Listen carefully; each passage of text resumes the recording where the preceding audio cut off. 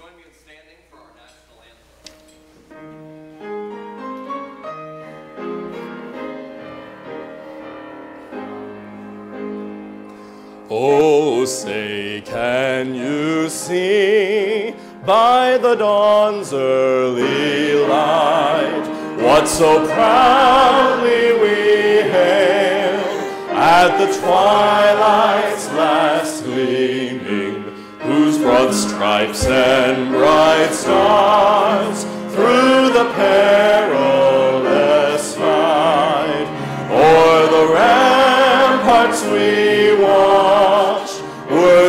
so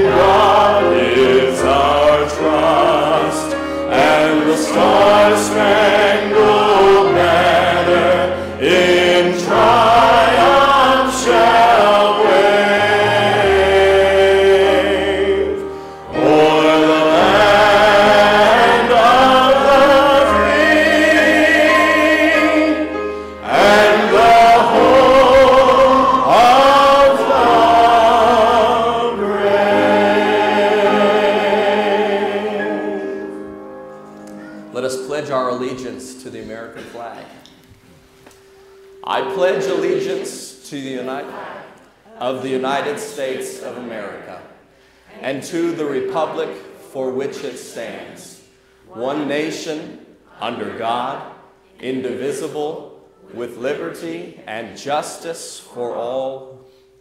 And let's pledge our allegiance to the Christian flag. I pledge allegiance to the Christian flag and to the Savior for whose kingdom it stands. One Savior, crucified, risen, and coming again with life and liberty for all who believe. Let's honor those who gave and served with a moment of silence.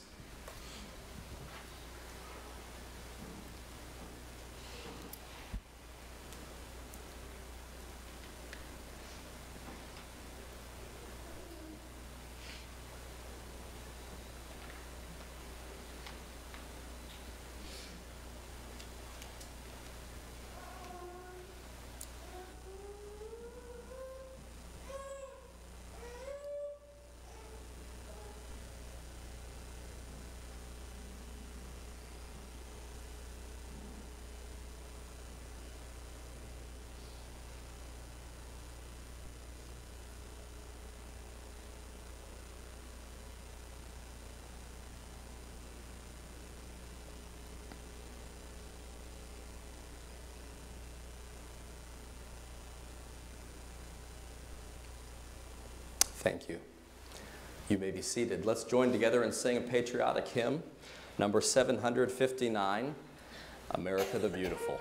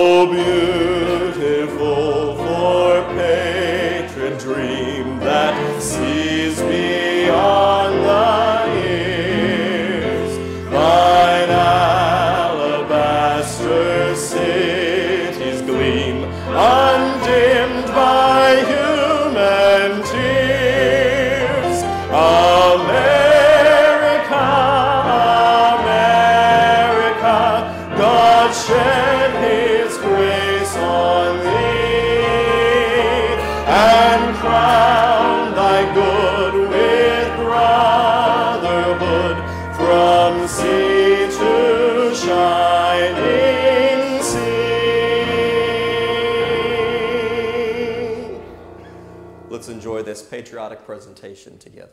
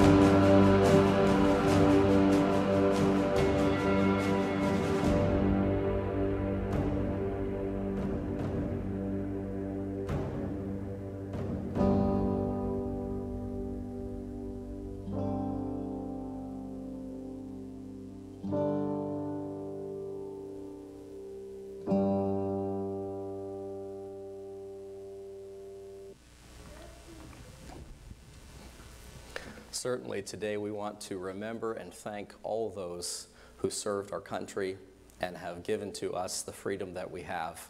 But this morning, we especially want to thank those that are among our congregation.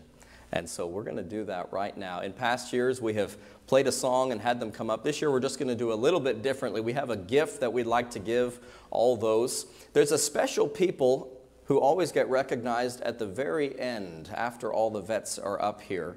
And I'd just like to flip flop things this year. Is that okay? Right now, I would like all of our vet widows to stand. And if you're able, to come and join us here at the front. We have a gift we would like to give you this morning. All of our veteran widows, come on down. Come right on down. Come on down. Don't be ashamed. Come right down. Let's honor them.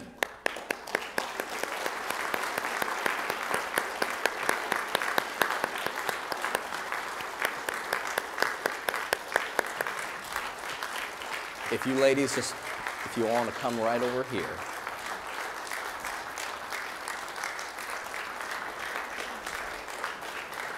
And, and, and face the congregation.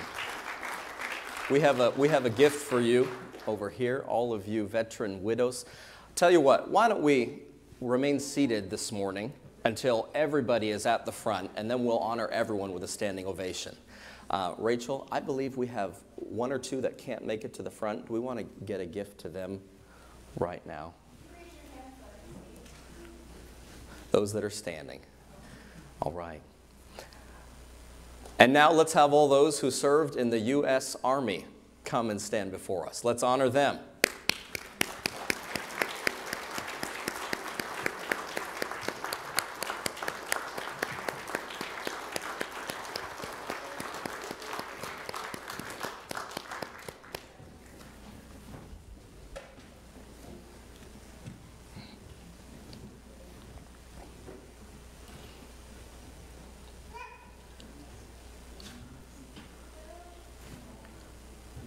We have a gift for them also.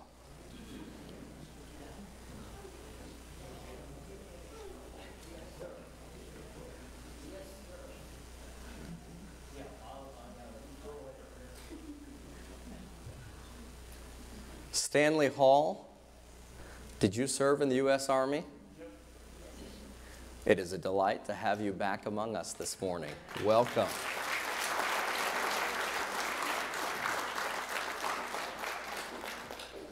As Stanley makes his way to join his comrades up here, let's honor any who served in the U.S. Coast Guard. Is there any of those present today? Okay, let's honor those who served in the U.S. Air Force this morning.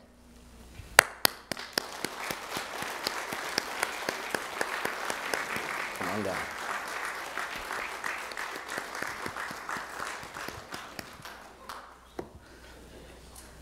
Army, would you just scoot down a little bit and make room for the Air Force? I know you're, you're hard pressed to do that, but uh, we are going to honor them today too. Now let's honor those who served in the U.S. Navy. Are there any of those present? Come on down, Brother Daniel, Brother Tom. We have a gift for you this morning. And finally, last but certainly not least, they would say, let's honor those who served in the U.S. Marines.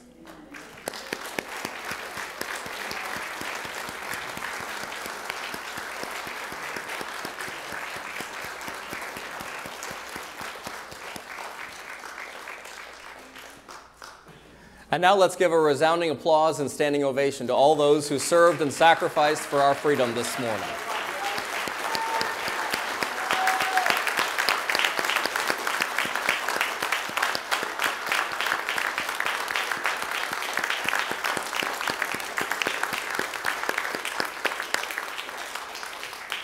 Thank you to all of you.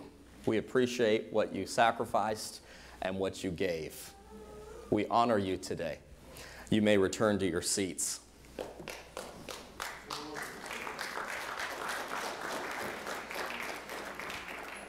Thank you so much for allowing us to take time out of the service to do that this morning.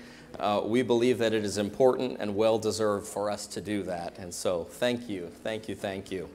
I'm going to briefly go over a few announcements this morning as we, can, as we conclude this portion of the service and move on. Tomorrow evening, we are having a missionary night here at the church. You say, What? A missionary night on Monday night? Well, guess what? The kids on the block are doing new things these days, okay? Missionary night. All the NMI board members are looking at me funny. We're going to have missionary night on Monday night. It's tomorrow. And uh, if you and your family are planning to attend, we would really like you to sign up today at the Welcome Center. There's a sign up sheet. Put how many is attending in your family. Um, we just need to know a number very soon uh, to make sure that there's adequate food accommodations for tomorrow night. And so if you will sign up, we would be very grateful. Uh, ben and Hannah Ponder and their children, missionaries to Serbia, are going to be with us tomorrow night. Uh, we're going to start serving supper about 5 o'clock if you want to come. I understand some cannot come at 5, but you have to come a little later. That's, that's all right. We'll try and keep the food hot and you can come. And somewhere along the way in the evening, once we think everyone's there, uh, the Ponders will give a presentation and tell us about the work that God is helping them to do uh, in Eurasia. And uh, we are very excited about them coming and excited to see some young missionaries on the field. So you don't want to miss it. It's an event for the whole family. It's down in the fellowship hall. And so park on the lower level and enter in there. And again, starting serving at 5 o'clock. One week from today, we will celebrate Thanksgiving together as a church family. We're going to have Thanksgiving dinner. And so, if there's uh, some who have not yet signed up to bring food, there's a sign up sheet at the Welcome Center this morning. Um, I think there's still some slots for green beans. if you weren't here last Sunday, you won't get that, but that's all right. We really want everyone to feel welcome to come and join us for lunch that day. Uh, because we value it so much and think that there's a, a good place for fellowship and visiting with one another, uh, we have canceled the Sunday evening service so you can stay and visit as long as you want uh, until they yank the chair out from underneath you to put it back on the rack to put it in the room, okay? So that's next Sunday, and we really want everyone to come. Uh, bring your friends, bring your neighbors, bring your enemies, and bring your mother in law, okay? We're going to have lunch together next Sunday. But yes, see the Welcome Center if uh, you want to sign up to bring something. The other thing that I want to let you know about is not in the bulletin yet. Uh, I just failed to put it in there. I apologize for that. The Saturday after Thanksgiving is Saturday the 25th, and we are going to decorate the church for Christmas that morning. Now, all of my handbell practice people are throwing up red flags because they know we're supposed to practice handbells that day, okay? Handbell ringers, we're going to practice at 9 o'clock, okay? And then we're going to, we're going to decorate the church at 10 o'clock, okay? So you'll be there with bells on.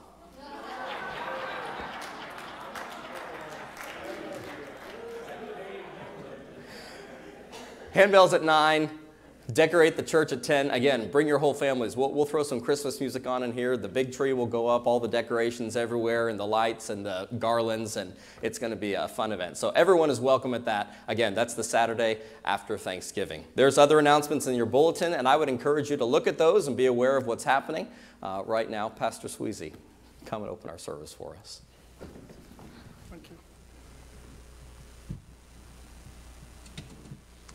Let's stand and join together in prayer.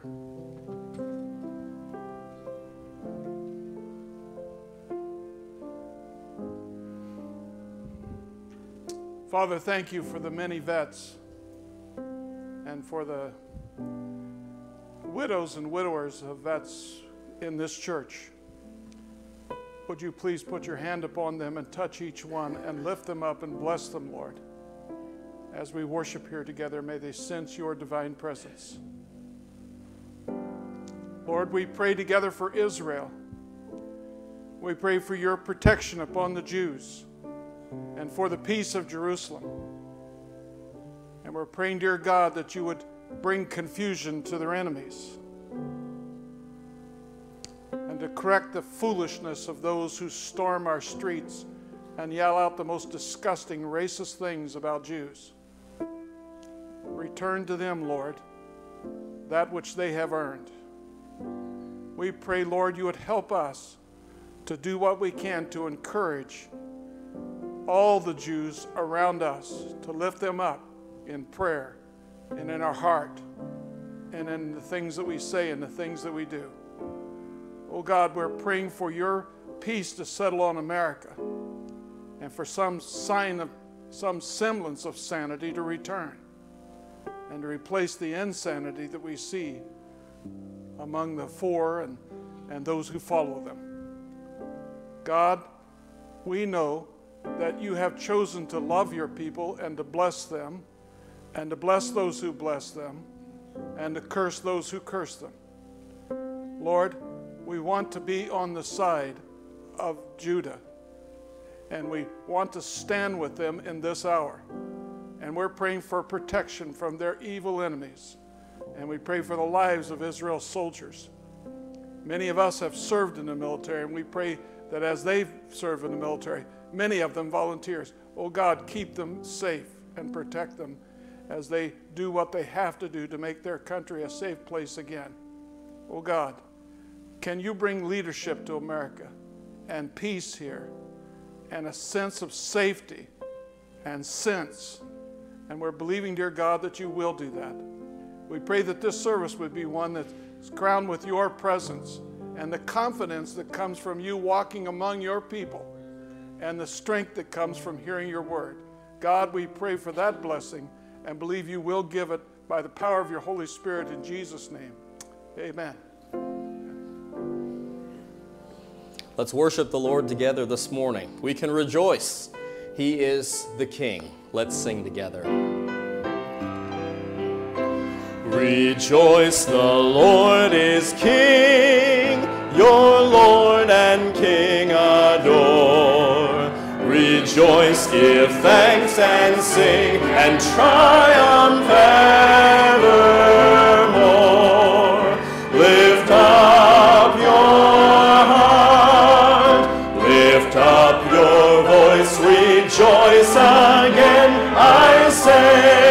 Rejoice. Jesus the Savior reigns, the God of truth and love. When he had purged our stains, he took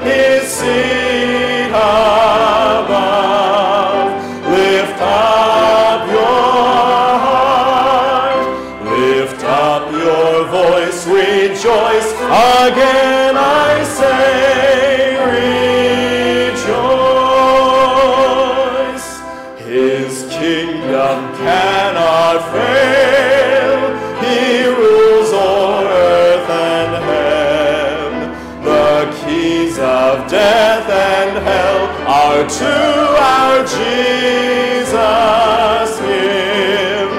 Lift up your heart, lift up your voice, rejoice again, I say, rejoice.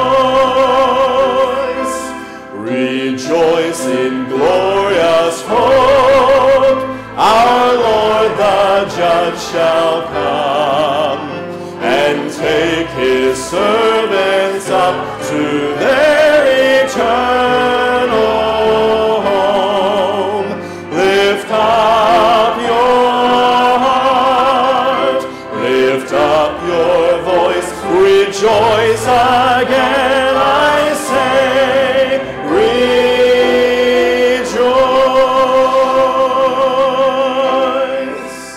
Amen. You may be seated. Let's continue worshiping together with hymn number 268. Our God reigns. We can have confidence today that the Lord is on the throne. He is ruling and reigning supremely. And because that is so, not much else matters. Praise God. Let's sing and worship. How lovely on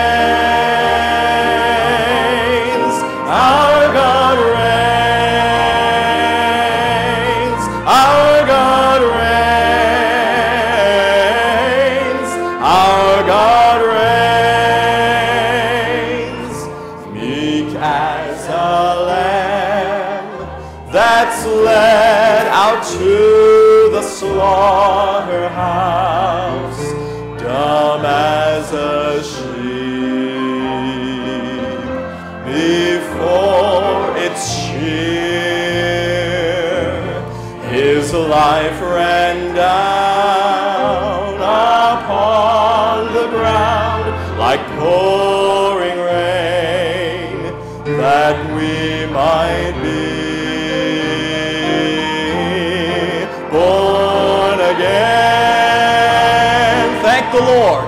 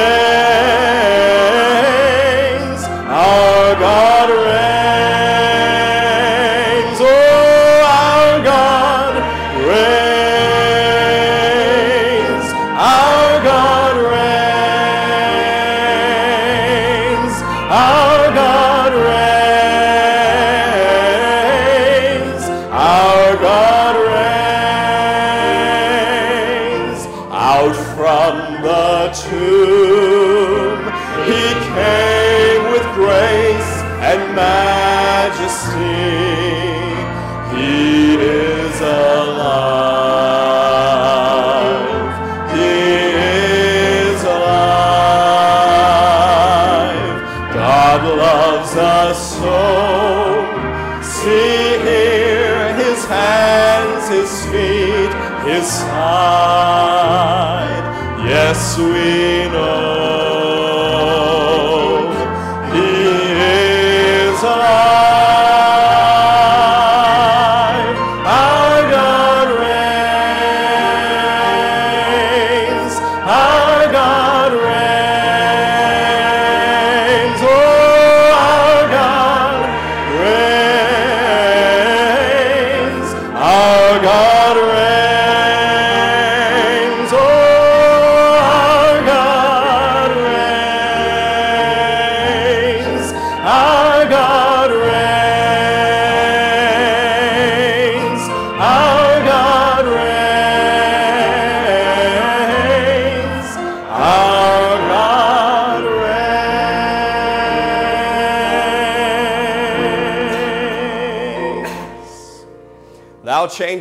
not, thy compassions they fail not. As thou hast been, thou forever wilt be. Great is thy faithfulness. I'm thankful that's the character of the God who is reigning this morning. He is unchanging. Because he's unchanging, he's trustworthy. We've studied his character all our lives, haven't we? We've known his character. We've experienced the way that he's been faithful to us. The hardships in your life that he's held your hand or held you through. The difficulties that you've faced in your families, God has held you through. Held you together, perhaps. Perhaps there's been financial things, relational things, employment things. God has been faithful. And I'm thankful this morning for the reality that the ruling and reigning God is not just that, but He is also a personal God. He loved humanity so much that He sent His Son because He's relational, because He wanted to be in relationship with the creation that He had created. And it's wonderful, isn't it? To know and love the Savior to have unbarred access to the throne of God, to bring our requests before Him, to bring our hurts before Him, and sometimes just to weep in His presence. And this faithful God comforts us even in that place. That's the God that we're coming to this morning when we unite our hearts and pray. Brother Rob Ferris, I would like for you to come after this chorus and lead the congregation in prayer before our Father this morning. Let's sing this chorus together and then let's pray. He is Lord.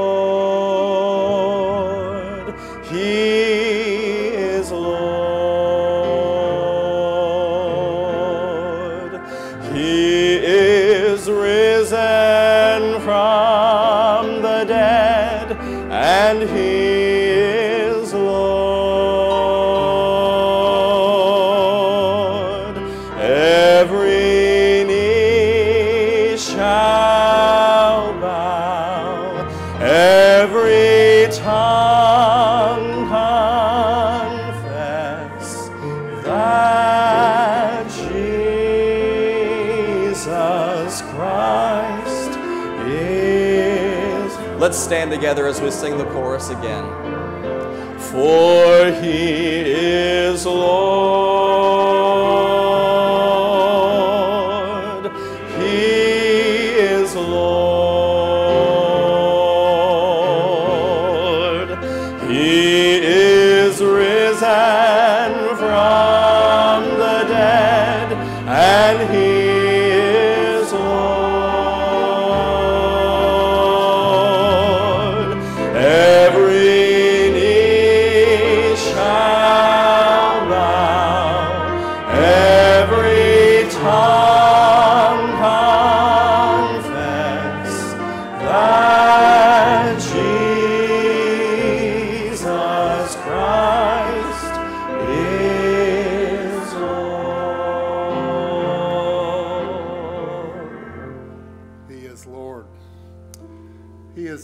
so thankful that He is Lord. Something going through my mind last 24 hours. If you asked 10 Christians or greeted 10 Christians and said, Good morning, how are you? Maybe two would say, I am blessed.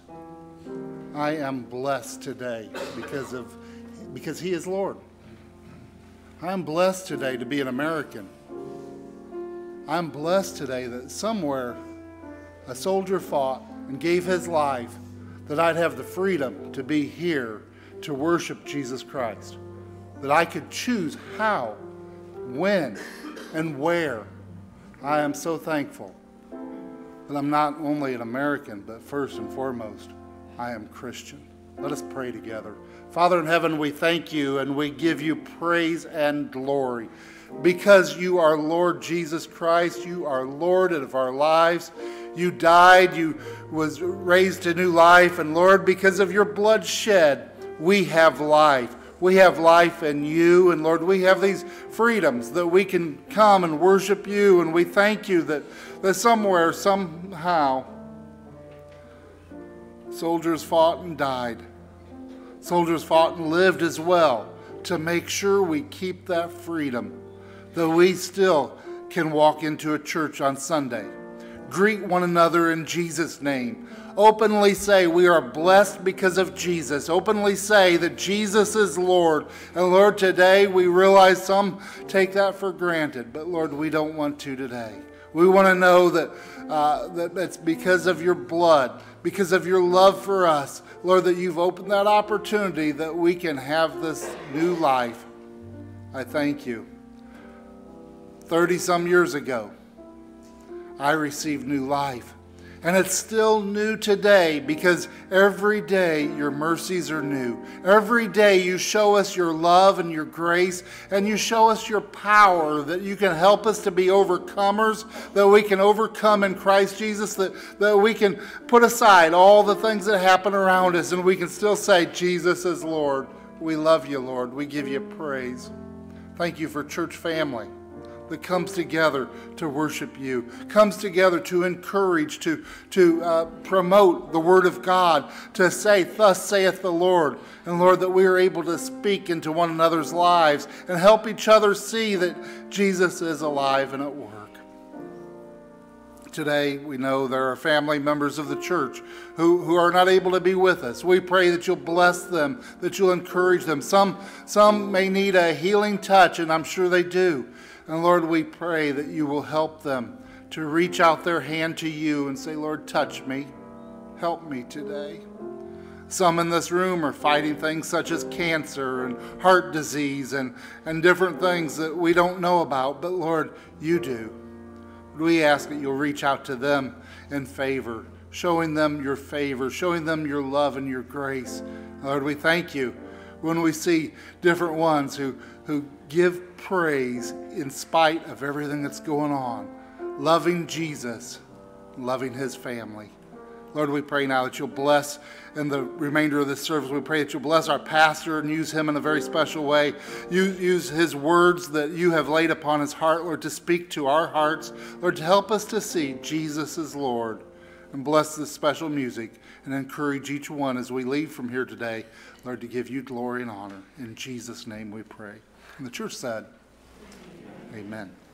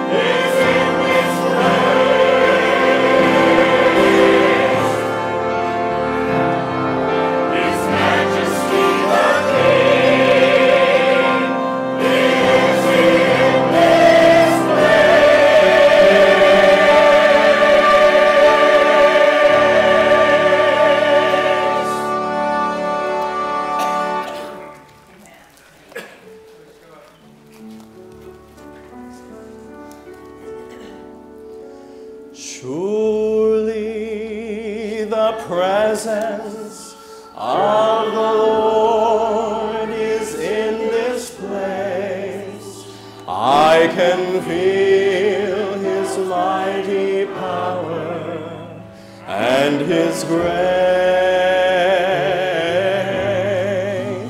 I can hear the brush of angels' wings. I see glory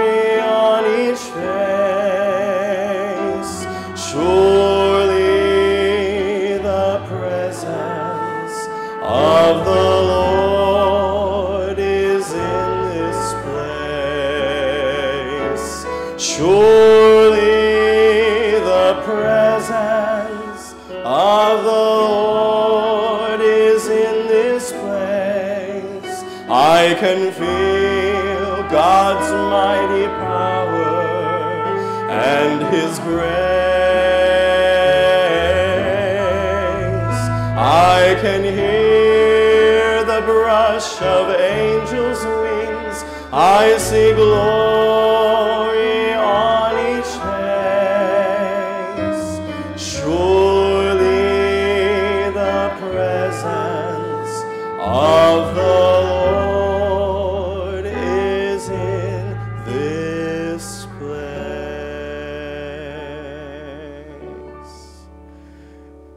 surely. It means without a doubt. There is no mistaking that God is here. And it's my personal belief that God has you here for a purpose this morning. Let's be attuned to God's voice as our pastor brings God's word today.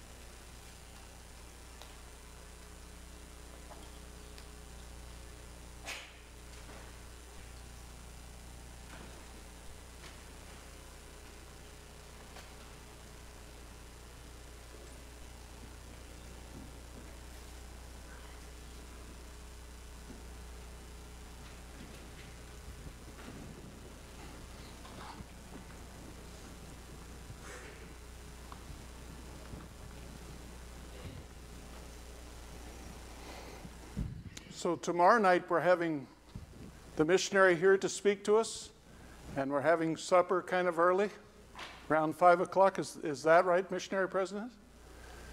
That is correct? Hmm.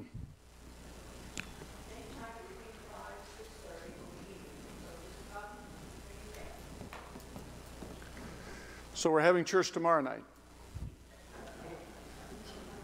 I'm just trying to figure this all out. Folks, uh, since we're having church tomorrow night, should we have church tonight? Hello? Anybody there? Shall we go ahead with service tonight? Okay, good. That way I don't have to throw away a sermon I've written. Looking forward to having a missionary with us. Let's open our Bibles to the book of Isaiah, chapter 40. I want to begin reading at verse 21.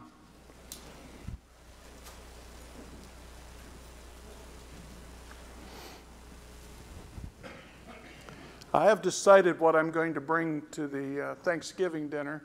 I saw it on TV.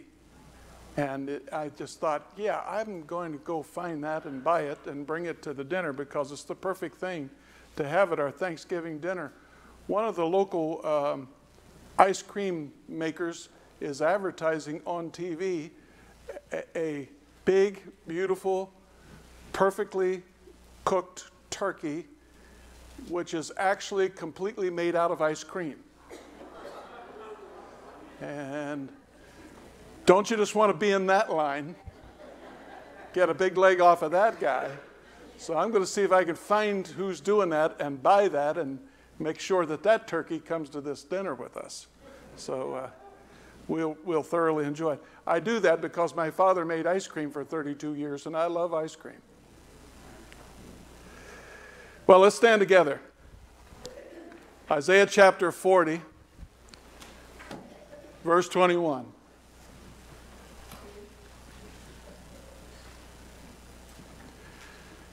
Do you not know?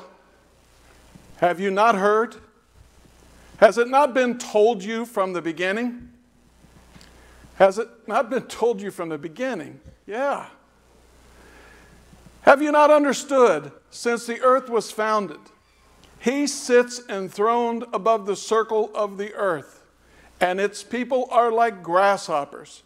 He stretches out the heavens like a canopy, and he spreads them out like a tent to live in. He brings princes to naught, and he reduces the rulers of the world to nothing.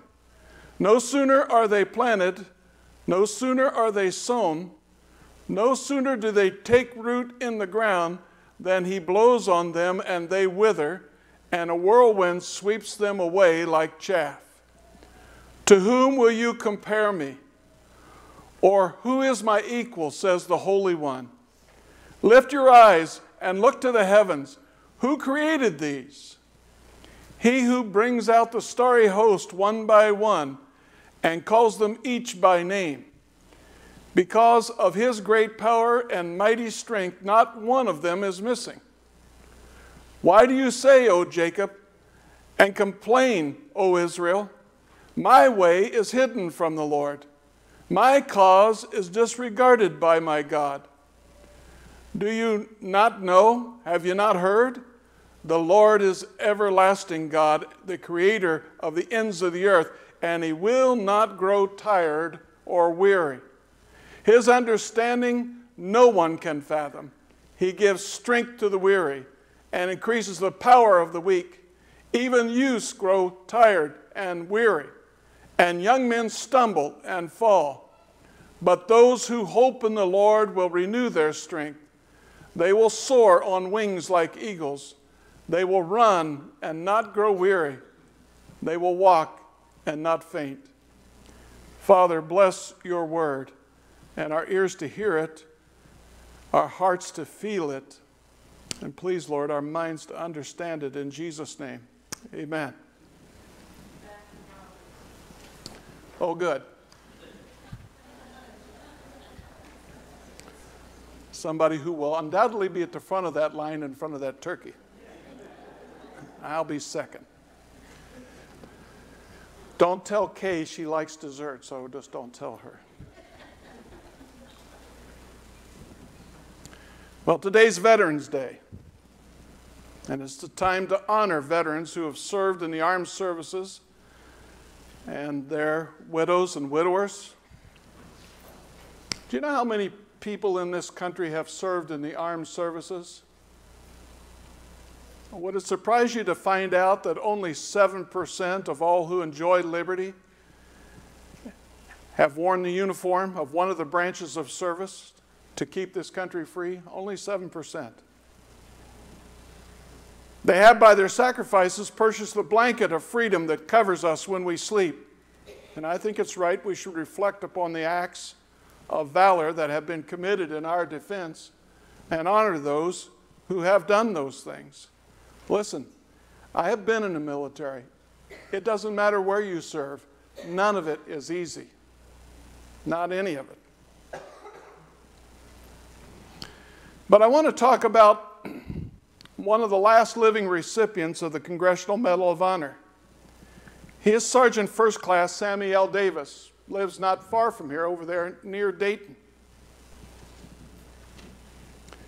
Sergeant Davis' outfit was overrun in the Republic of South Vietnam in the Mekong Delta when they were located on an island the enemy surrounded them on both sides of that island and were trying to cross the river on both sides and overwhelmed their outfit.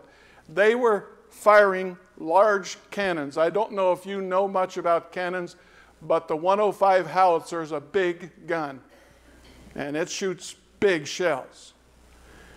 The enemy was close and they were firing at them, and so they loaded those guns with beehive rounds. Do you know what a beehive round is?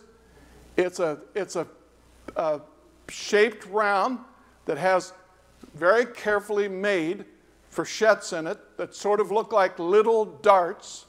There are 8,000 darts in each round in the 105, and they lowered those guns and pointed them directly at the enemy when they were charging and pulled the lanyard, and all the men in front of them pretty much evaporated because of 8,000 darts being thrown out in all directions and killed. Sammy was one of the guys loading and firing one of those weapons. It started to rain and it was getting dark, and the enemy was so close, they were firing these beehive rounds one after another. And the enemy, after it got dark, zeroed in on where they were by the flash of their cannons and started sending mortars in. One of them knocked Sammy off of his feet and made him a little unconscious. And just as he woke up and began to look around, he began to say, Lord, help me get up. I, I, I can't get up, and I've got to fire this gun. Somehow he managed to get up and reloaded the gun, but just as he got up and reloaded the gun, a mortar round hit one of the cannons behind him. The barrel dropped down, and a man who was there was blown off his feet but had the lanyard in his hand, and the gun went off behind Sammy. 30 of those 8,000 rounds hit him in the back and in the hips. And his flak jacket helped stop some of the ones that hit him in the back, but the pressure of it hitting him shattered some of his ribs and broke his back. When he woke up from the shock of that and started crawling along the ground to get out of the way so that he could get out of the, the way of that cannon that was firing behind him, he, he was hoping to get maybe over to where his tent was. And the enemy kept charging, trying to, to come over the river and overwhelm everyone. And he looked up and he saw on one side of the river, just across from the island, a man waving a little white shirt and yelling, Don't shoot me, I'm an American. Help me, help me, I'm wounded. And he fell down in the grass. And Sammy said, God, what can I do? I don't have any strength. And I'm wounded. At that time, while he was praying, one of the enemy shot him in the leg with a uh, AK-47. What can I do for that man? There's nothing I can do to save him. And he looked toward his tent, and there was a rubber inflated mat that he used to sleep on. He crawled over to that mat and dragged it down the river and climbed up on it and paddled it across the river and began crawling on the bank trying to find that wounded soldier, he fell down into a hole. And in that hole, he found it was a foxhole. There was not only that wounded soldier, but two other wounded Americans. God help me, I, I don't have the strength to drag all these men out of here. But I can't leave them here. And one by one, he worked hard and got all three of them out of that foxhole and dragged them down to the edge of the river. And making two trips with that rubble raft, he was able to lay those other guys on the side of the raft and paddle. And he got all three of them to the other side and saved their lives. His ribs were crushed, his back was broke, and he was shot in the right thigh by an AK 47. During his time in Vietnam, he earned a Silver Star, a Purple Heart, a Good Conduct Medal, National Defense Service Medal, Vietnam Service Medal, Republic of Vietnam Campaign Medal, a Presidential Unit Citation, and a Republic of Vietnam Gallantry Cross Unit Citation. And when he got home and recovered, he was promoted from sergeant first class to second lieutenant. And as he began to recover and was able to walk around again, he was invited to Washington, D.C., where the president was going to personally award him the Congressional Medal of Honor. Many of you have seen the videotape of Sammy receiving his Congressional Medal of Honor. I know that you have seen it, you just don't know that you have seen it. You see, what happened when they were doing the film about Forrest Gump, they took the, the the videotape of Sammy Davis getting his Congressional Medal of Honor and superimposed the, the face of the actor who played Forrest Gump over Sammy's face. And if you look hard, that uniform doesn't match up to, to Forrest Gump's uniform. And all the men who he knew in the military and in his unit realized immediately that that was the service they had attended and watched him get the Congressional Medal of Honor, and that these people had just superimposed that, that face of Tom Hanks over top of his face. So when he got back to his unit, everybody started referring to him as the real Forrest Gump. And the other guy was just a phony.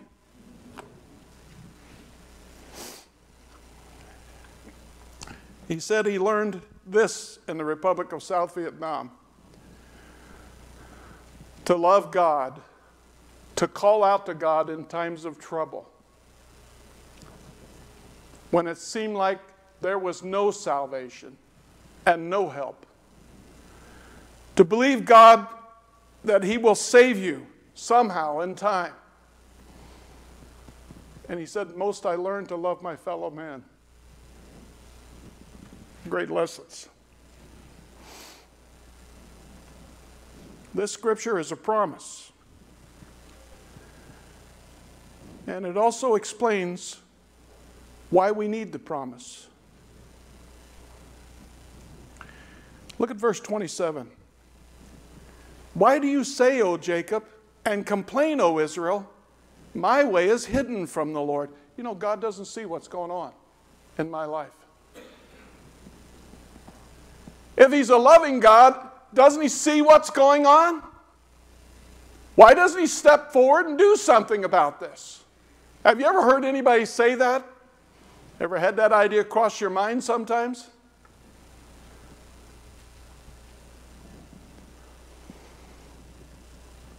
My way is hidden from the Lord, and my cause is disregarded by God. Not only is God not paying attention to my situation, but He isn't concerned about it at all. He totally disregards what's happening in my life. Don't ever let anybody say that to you. Because they're speaking for the devil and not for God. My cause has been disregarded by God. Listen to Isaiah. Do you not know? Have you not heard? The Lord is everlasting God, the creator of the ends of the earth, and he will not grow tired or weary, and his understanding no one can fathom. He gives strength to the weary. Listen to me. I know that some of the things that are happening in your life you feel are dragging you down.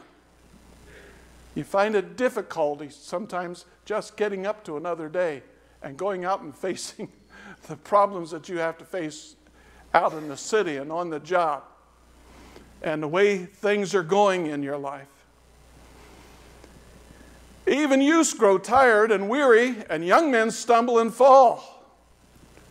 But he increases the power of the weak, it says in verse 29. He will give us the strength Lord, how am I going to get up off the ground and help that man on the other side? Sammy asked.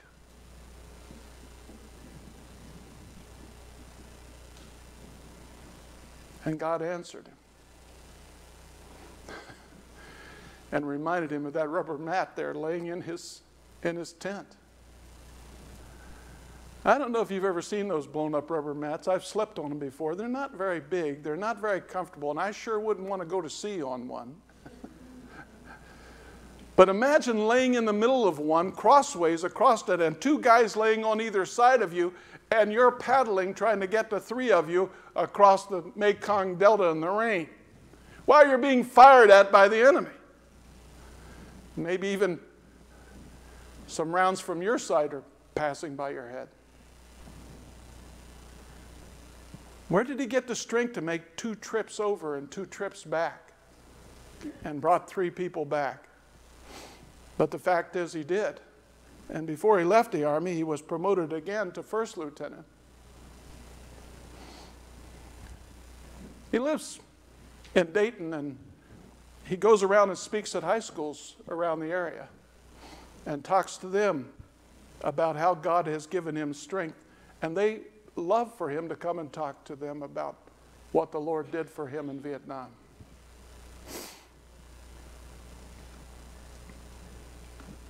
I think we need to understand what the scripture is saying here. But those who hope in the Lord will renew their strength. Folks, I think sometimes we read words like that and we get a little confused. It says there, those who hope in the Lord will renew. That word hope is actually translated trust, to have confidence in, to believe in the upcoming blessing of God. Do you believe that, that there's a blessing of God that's coming your way? Do you trust in the Lord to meet your need? To, to do exceedingly abundantly above all we can think or ask? Because these sort of things are promised to us as the children of God. And we need to have confidence in our Lord to see our misery and understand what's going and to act in our behalf. Young men stumble, but those who hope in the Lord will renew their strength. Their strength is going to be renewed. Have you ever seen God do those kind of things? I had a, a, a, friend much older than, than me, and uh, he was a pastor in West Virginia. In fact, around the area of the city of Parkersburg, West Virginia, in various parts out in the country and in the city, he had planted five churches he went uh, to a neighborhood which I used to work in when I was a bus pastor for my church. And he started the Church of the Nazarene in a garage across the street from a great big cemetery and a little house. And he worked in a factory and made money to pay for the house and pay for the property and pay for the garage and to, to glorify the garage and turn it into a kind of a place where people would come and worship. And he went around and worked with people in the neighborhood. He was a great personal evangelist. You know what his problem was? He had a horrifying speech impediment. And I, I have heard him preach many times, but I have to tell you, I had to strain to understand what in the world is he saying. It was that confusing. He was born that way. He worked hard and he built that church and there was a hundred in attendance. They bought ground on the side of the street where the cemetery was, not in the cemetery, but off to the side. And he went over there with a shovel and dug a, a basement by hand. Where's Les? Hello, Les. You kind of identify with that, don't you? He dug the whole basement out himself by hand with a shovel. He he put up concrete blocks. He, he poured the, the concrete for the, for the basement and closed in the roof of that basement, and he had a basement church over there. And it began to grow. And then he decided we need to have a second floor. And so he began tearing off the roof and he ran the blocks up another floor and, and uh, laid red brick along the side of it and put on the roof. Did all the electrical work and the plumbing himself. Hey, they had bathrooms. Wow. Now they didn't have to go across the street to his house anymore. And he built that church and he won 100 people to the Lord and he took in 100 members into that church. And great things were happening for him. And then it came time for election and they voted him out because he had that speech impediment. They thought a church with 100 people in it ought at least have a pastor who can speak plainly. And so the district superintendent visited with him and said, Well, brother, what, what, do, you, uh, what do you want to do? And he said, Well, do you have another church for me to pastor?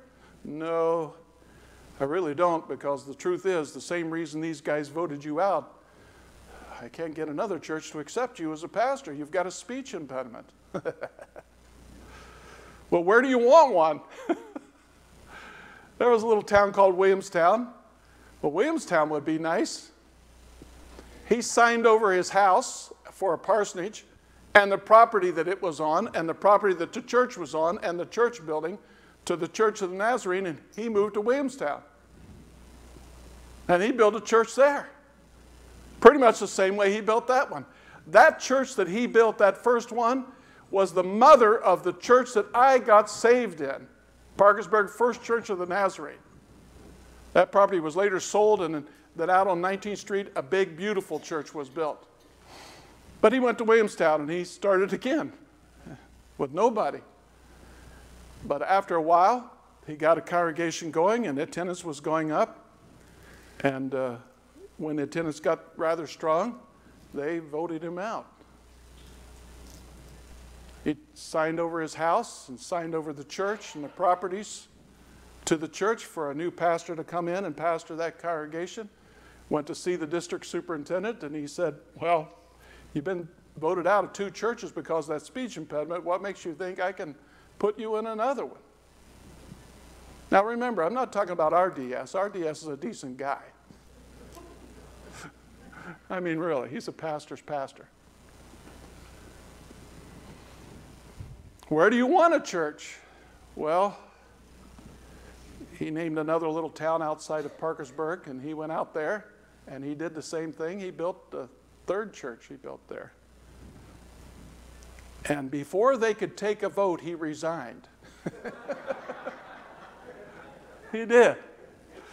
Turned the property and the house and everything over to the congregation and went to see the DS and said, Is there a church that's a vacant? And he said, Well, I have some vacant churches, but they won't accept you as a pastor because you have a speech impediment. And he said, Well, uh, have you got another place? He said, No, I, I can't think of another place. And he said, Well, I know a place. And he went, went across the little Kanawha River from Parkersburg and, and, and built, a, built a church up there on the hill.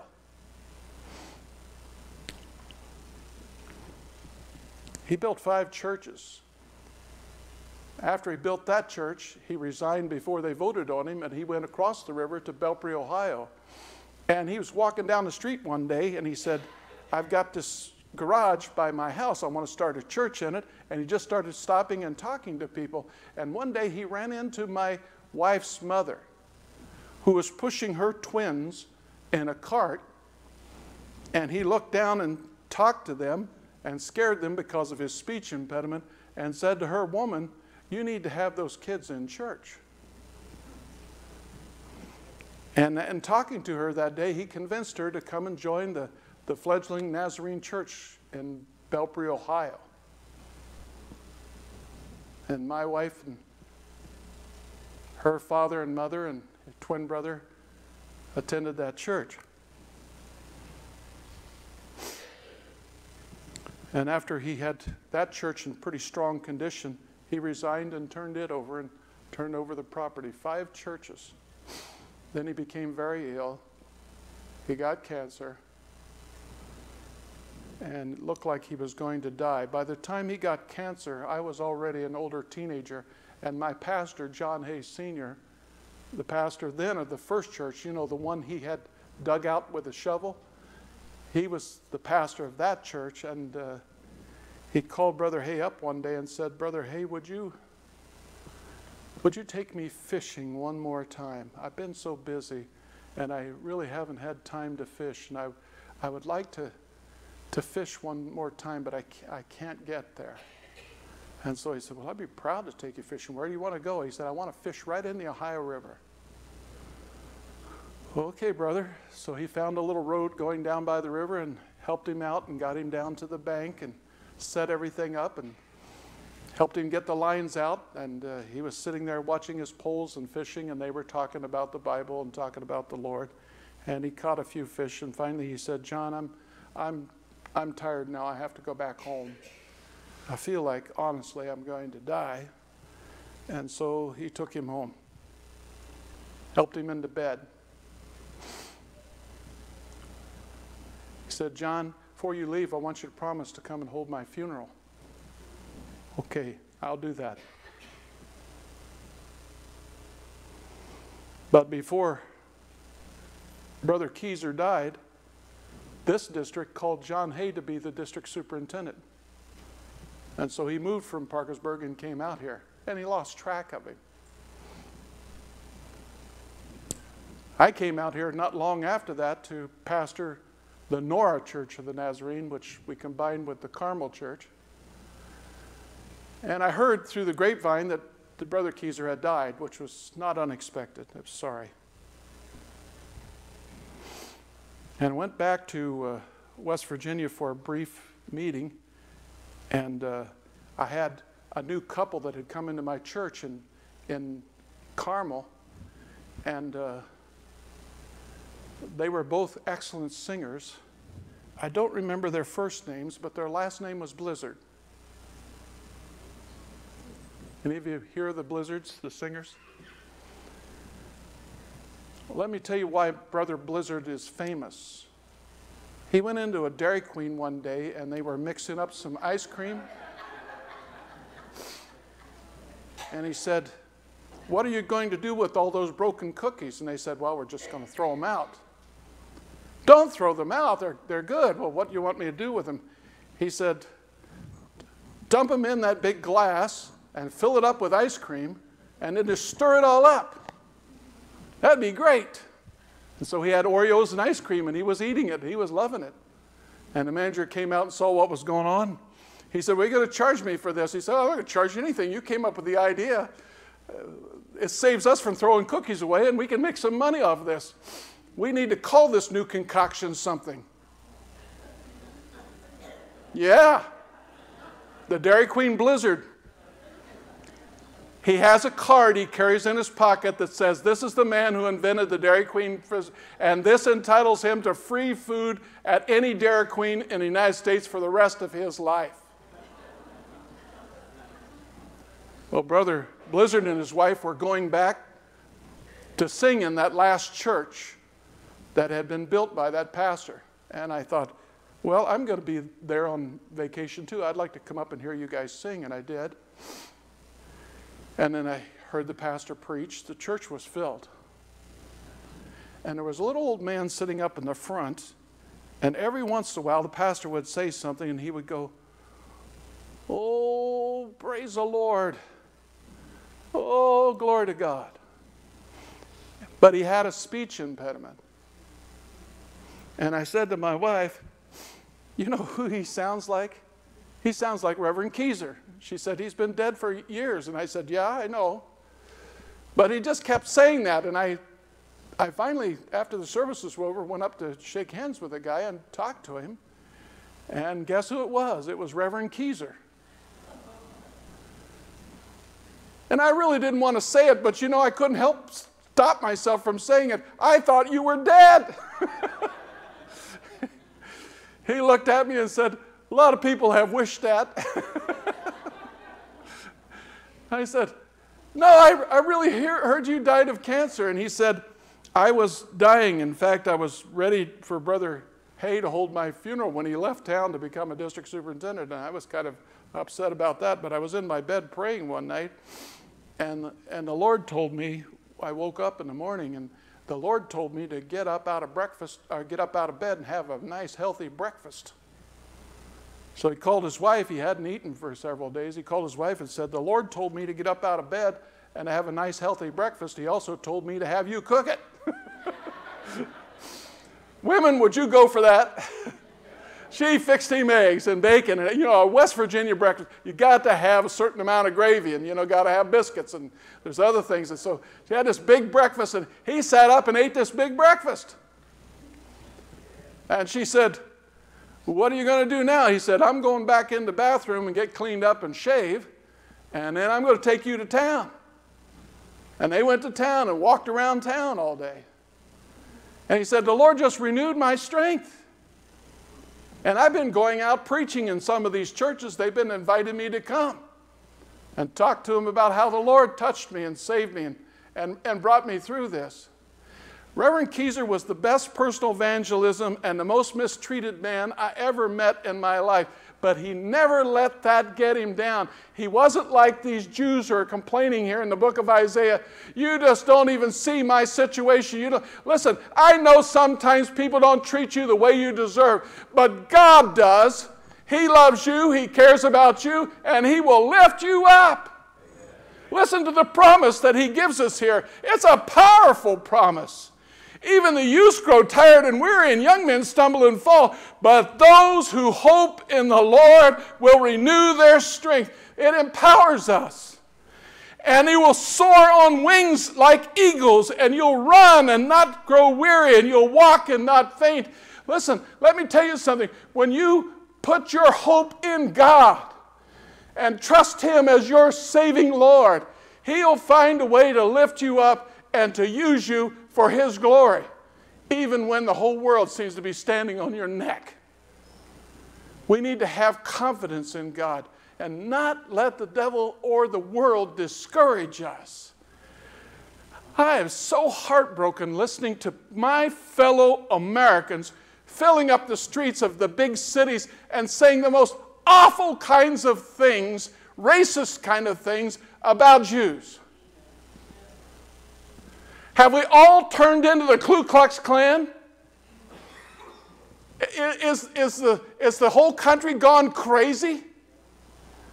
And I, I think what we have to do is instead of giving up, we have to stand up for what's right, and we have to trust God to give us power and strength to stand against this kind of stuff and to speak out against it. But listen to me, folks. Don't let anybody stand on your tomorrow. Hope has to do with what God's going to bring about in your life. Hope is tomorrow. It's about what God's about to do in your life. Don't you have hope in God?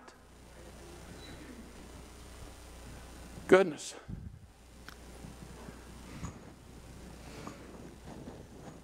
I saw a TV show. Yeah, I think it was called The History of God. But they were sitting on the Temple Mount talking about a lot of things about the temple. And as I looked around that temple, I realized, you know, we're not far away from the temple being rebuilt. And I don't think we're far away from other big end times things happening. Little things are happening all around the edges. And those will add up to the big things. Folks, we have a promise from God.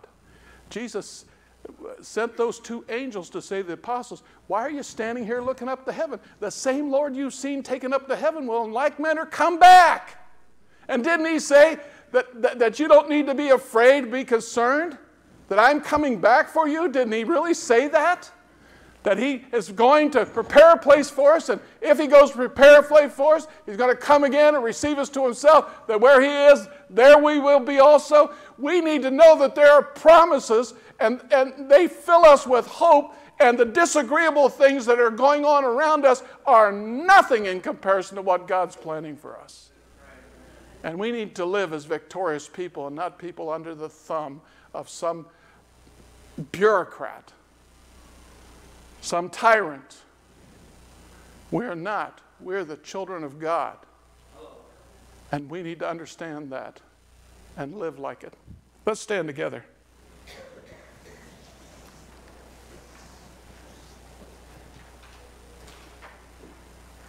God, would you put your hand upon people who are suffering now in this room, who have things that are going on in their life that are really, really causing them distress and, and making it difficult for them to sleep and difficult to eat and to think clearly about what they need to be doing tomorrow because they're so distressed.